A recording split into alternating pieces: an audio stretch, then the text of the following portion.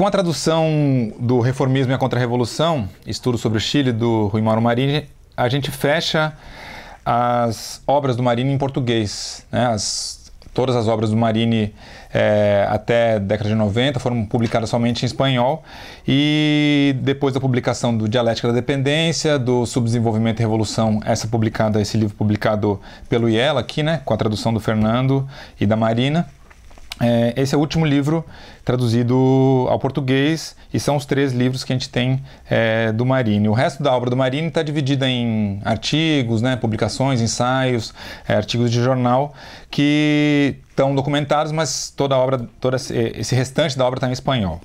Bom, esse livro Reformismo da Contra-Revolução, o, o, título já fala, já mostra um pouco, né, sobre é, a situação chilena pré-eleição de Salvador Allende, durante a eleição, durante toda a gestão de Salvador Allende e o golpe, né, os preparativos do golpe e o golpe que, que é dado contra o governo da Unidade Popular.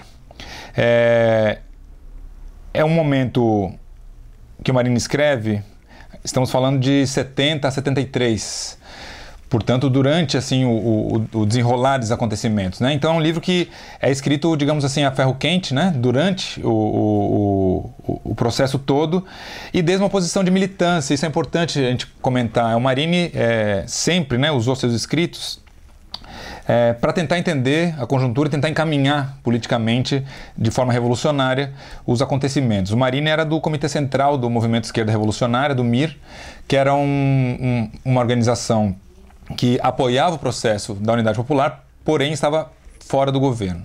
Por uma, por uma série de críticas que ficam claras é, ao livro, dentro do livro, e que tem a ver com os caminhos da Revolução, né? com os caminhos desse, dessa via chilena do socialismo, que foi uma experiência é, única na América Latina, uma tentativa é, de é, construir o socialismo, digamos assim, sem as dores do parto da violência. É, obviamente, essa abertura, né, que, foi, que foi possibilitada por uma eleição disputadíssima, em, em que o Salvador Allende ganha com 36% dos votos, 37%, devido também a uma divisão da direita, abre esse processo e um processo inédito né, como vários outros que tinham ocorrido é, na América Latina, principalmente a Revolução Cubana, né? Se, se, fôssemos, se fôssemos pensar em termos de receitas ao socialismo, a América Latina, durante a segunda metade do século XX, mostrou que não existem, não existem receitas. E dentro dessa, dessa, dessa maré criativa do marxismo latino-americano, abriu-se uma possibilidade ainda inédita de construir uma revolução é, sem violência, ou usando é, é, sem, sem, sem a, a intensidade como havia ocorrido na China, na Rússia e na Revolução Cubana, uma violência revolucionária. A gente sabe o fim que, que tomou essa, esse processo chileno. E o MIR, que é desde onde o Marini fala, né, como dirigente do MIR, justamente criticava essa a, a tática da, da unidade popular de tentar evitar a violência se aproximando da direita, fazendo concessões uma dessas concessões, uma grande, talvez uma, uma, uma, concessão que seja emblemática, apesar de não ser, digamos assim, a principal, foi a aceitação de colocar o próprio Augusto Pinochet como é, general das Forças Armadas numa negociação com a direita, já perto da crise é, que levou ao golpe, né? já no começo de 73. É, esse general, como vários outros generais de, de das ditaduras latino-americanas do segundo, da, da segunda metade do século XX, muitos dos generais que deram esses golpes eram generais dos próprios governos populares. O Marinho, portanto, faz uma análise de conjuntura daquele momento, uma análise de conjuntura no sentido que muitas vezes nós é, não estamos acostumado, acostumados a ver mais. Uma análise de conjuntura que não, é, não olha só, pelo, só pro, para os dados, que cresceu o PIB, que diminuiu o PIB, o desemprego aumentou, diminuiu, nem tanto é, só para os, os, momentos mais conjunturais, específicos, né? uma fala de alguém, é um posicionamento de tal partido, mas tenta entender tanto a ascensão da Unidade Popular quanto o golpe no Chile a partir das contradições que o próprio capitalismo dependente ia colocando. É, basicamente, uma, uma adesão da burguesia nacional ao imperialismo, fato comum em toda a América Latina é, nesse momento, e que inviabiliza uma saída democrática popular, uma saída dentro da ordem e ainda mais, né, é, e ainda menos possibilita um, uma espécie de socialismo que, que encontrasse em setores nacionais da burguesia um apoio momentâneo. Essa divisão burguesa, essa, essa, essa, essa adesão completa do, do da burguesia é, ao imperialismo move o MIR a propor uma a organização popular, inclusive armada, como uma forma de enfrentar a crise que se colocou durante o governo da Unidade Popular. Veja, a partir do momento que o Salvador Allende assume o poder, a direita começa a conspirar contra. Né? O, desabastecimento é, total de produtos básicos, né? que foi a, a, a tática da, principal da direita para é, trazer a população para o seu lado, ela começa des, desde que Allende assume o poder. E o governo Salvador Allende vacila entre é, medidas estatizantes da produção e distribuição. Veja que a gente está falando de um reformismo que não é um reformismo qualquer, é um reformismo de fato, um reformismo que é, privatiza o sistema, é, é que estatiza o sistema bancário, perdão, um reformismo que estatiza é, toda, toda a produção de cobre, né, o principal é, produto a ser exportado, que era exportado pelo, pelo Chile. Então é um reformismo que de fato abala as bases de sustentação da burguesia, do próprio capitalismo chileno. Porém, e essa é a tese do livro, é um reformismo que não termina de é, construir um poder popular capaz de enfrentar a contraofensiva da direita, a contra-revolução. Então a tese do Marinho é justamente essa: um reformismo. O reformismo é a antessala da contra-revolução. Em que sentido? Que ele abala as estruturas burguesas, estatizando, é, fazendo com que o Estado controle uma parte do acidente econômico, porém não coloca decididamente o poder nas mãos do povo. A unidade popular chegou a desarmar é, a organização popular, a organização dos trabalhadores, principalmente nos cordões industriais, que foram é, iniciativas autônomas dos trabalhadores para resistir à, à, direita. Em um determinado momento, a, no momento em que a Unidade Popular, Allende, o Partido Comunista Chileno, é, uma conciliação com a democracia cristã, uma das condições era o desarme dos cordões é, operários, né? dos cordões industriais. Então, o, a Unidade Popular chega ao cúmulo de colocar o exército para desarmar os próprios trabalhadores que estavam apoiando o processo da Unidade Popular.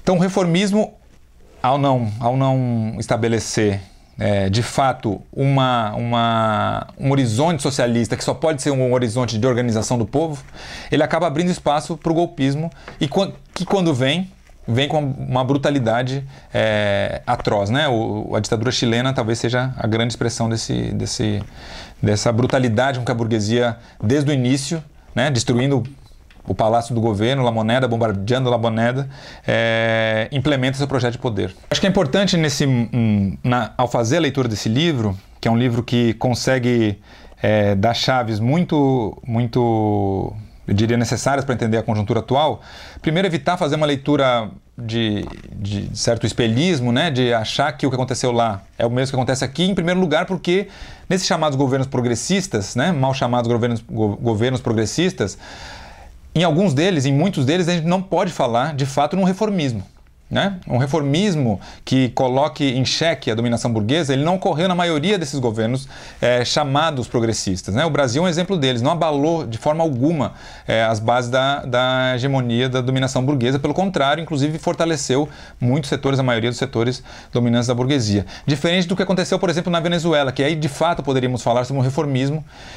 E é, talvez o conhecimento desse processo, do processo chileno, que já era objeto de preocupação do próprio Fidel Castro, né? Fidel, é, no momento da crise, isso aparece no livro, no momento da crise de 72, 73, sugere a Salvador Allende que é, faça uma ofensiva maior, ou seja, é, escolha os setores das Forças Armadas que, são realmente, que estejam realmente com, com o regime, com a transformação, expurgue os setores contra-revolucionários, fortaleça a organização dos trabalhadores, inclu inclusive fortalecendo o armamento desses trabalhadores. Né? Então é uma coisa que preocupava que talvez é, no processo venezuelano tenha sido também uma, uma, uma salvaguarda para evitar é, cair nos mesmos erros que, por exemplo, a, a, a Unidade Popular caiu.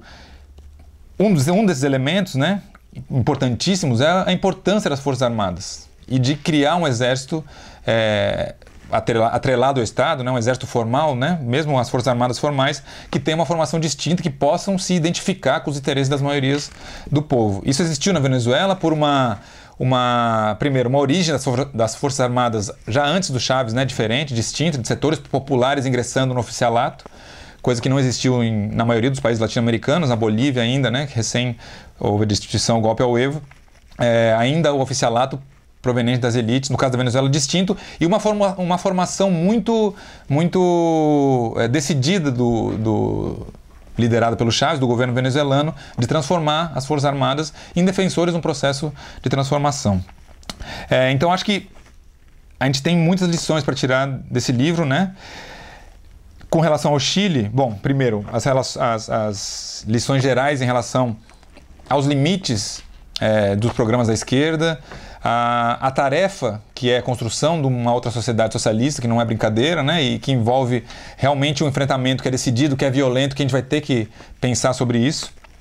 E no caso do Chile especificamente, onde estamos vendo aí uma, uma verdadeira revolta popular, é, fica muito claro que o, o, o que o que acontece hoje nas ruas do Chile, em primeiro lugar, tem a ver com todo esse período da ditadura pinochetista uma ditadura longa que termina na década de 90 é, e cujos os reflexos se estenderam, se estendem até hoje e é, o, digamos assim, o, o, eixo sobre o qual se estrutura a revolta popular é justamente essa herança que é deixada depois da destituição do Salvador Allende. Então, o que vem depois né, da, desse governo, que é um governo radical, é a, a, grande brutalidade da ditadura que se manifesta até hoje. Por outro lado, também acho que é importante ver como algumas táticas elas se mantêm, é, principalmente no campo da esquerda. Porque os governos é, pós-ditadura, é, alguns deles é, sobre a, a, batuta né, da, da concertação, a concertação é um, é um acordo que junta Partido Comunista, Partido Socialista e a democracia cristã né, na, na, no Chile. Um acordo muito parecido com o acordo pré-golpe, ou seja, o Partido Socialista e parte da esquerda volta da ditadura do Pinochet com a mesma, é, óbvio, né, para outro tempo histórico, mas com uma, uma tática muito parecida. Vamos aqui consertar, vamos tentar arrumar a partir de várias tendências para ver se a gente é, consegue, dentro da ordem, caminhar para alguma melhora. Isso resultou no, no, no, caso do Chile, em que agora, durante as manifestações, as, as revoltas populares, essa esquerda está tão desacreditada quanto a direita. Né? Então não consegue apresentar também uma saída é, transformadora, porque todo o processo pós-ditadura militar seguiu, em linhas gerais, essa ideia de que é possível construir uma democracia nos países, é, nos países dependentes, a ideia de que é possível fazer transformações sem que a esquerda tenha o, o, o monopólio da força, né? que, que use a força de alguma forma para bloquear as ofensivas da burguesia, e o dilema acaba, acaba resultando numa falta de legitimidade desse setor, que era o mesmo setor que chegou a governar com Salvador Allende. Né? está falando do Partido Comunista, está falando do Partido Socialista, os mesmos atores que estavam naquele momento em que o Marini escreve esse livro. Então, é, recomendo né, muito esse livro do, do, do Marini. Para quem conhece é, a obra do Marini, esse talvez seja um livro que, que, que, em que o Marini esteja mais afiado, eu diria, consiga fazer essa ponte entre a teoria da dependência, a superexploração, a transferência de valor e a materialização disso na conjuntura política, na luta de classes. Então, é, se quiserem ler um Marini afiadíssimo, né, radical, e que consiga que, que, faz, que faça a gente pensar sobre os rumos da América Latina hoje, recomendo muito esse livro, O Reformismo e a Contra-Revolução, Estudo sobre o Chile, que saiu pela editora Expressão Popular, numa parceria com a Associação de Docentes da Unirio, né? a, a, a Unirio que viabilizou a tradução e a publicação desse livro.